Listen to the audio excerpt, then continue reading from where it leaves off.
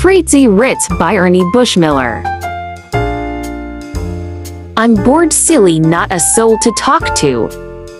I wonder if that hotel across the river is any livelier. Hmm, there's a nice looking fellow stopping there.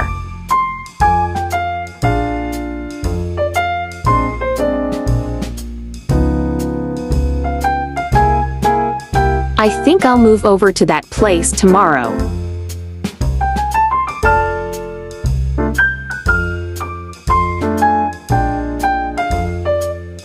I'd like a room for two weeks. Fine.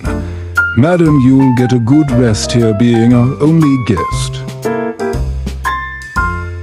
Only guest. Yes, that young man is moving to that place across the river. He heard there was a nice looking gal stopping there.